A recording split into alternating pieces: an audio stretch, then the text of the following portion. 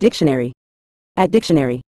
Ablución is a Spanish noun meaning ablution in English, referring to the act of washing or cleansing, particularly in a ritualistic or ceremonial context.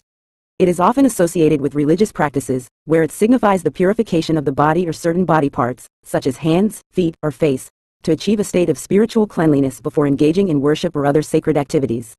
The term can also be used more generally to describe any act of washing or cleaning, emphasizing the aspect of purification or renewal.